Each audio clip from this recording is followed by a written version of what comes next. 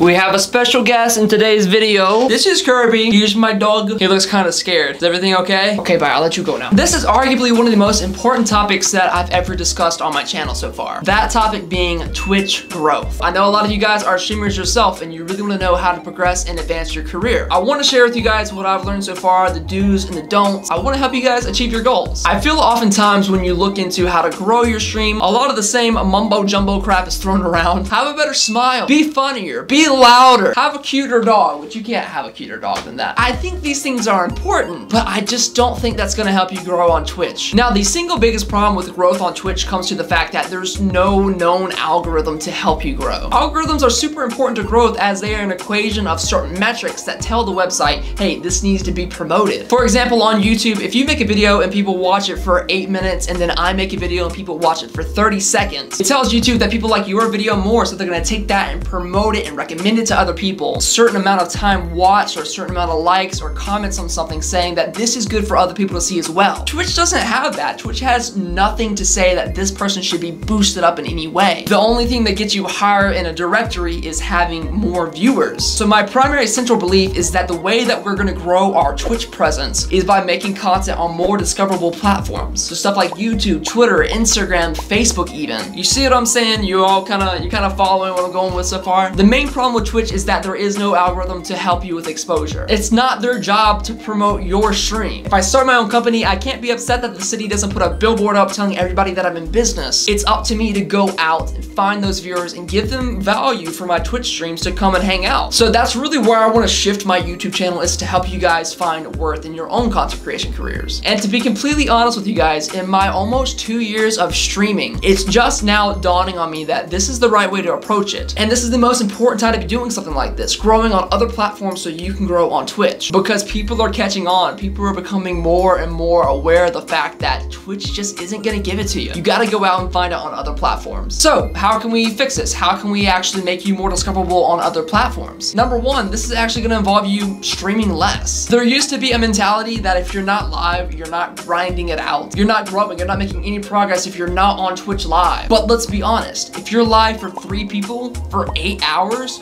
what progress did you just make? I say that as someone who has done multiple 24 hour streams for five people in the middle of the night. Shout out to Nina, Hannah, and Katie for being the only people in my 24 hour stream that first time. It's not worth it. You don't gain anything on any platform. You just were screaming into the void. yeah, those three or four people that are there through the middle of the night are the best and those are probably the most loyal in your community. But the point is, you're not making any progress by sitting there and streaming for virtually no one. Stream less. Stream two days a week, maybe three days a week. But reserve time to make content on other platforms that are more discoverable. And once you make content that is both more discoverable and has actual value to it, you're then going to attract Twitch viewers. People are going to want to come meet you. People want to spend time with you. Obviously, at the time of this recording, I'm still a growing content creator and I'm figuring out the system as well. But I think it's important for us all to recognize we aren't going to grow by just sitting still and streaming to no one. So good, we got that out of the way. You're going to be streaming less. So now you have a ton of extra free time what are you doing with that? What are you into? I want you guys to tell me in the comments down below,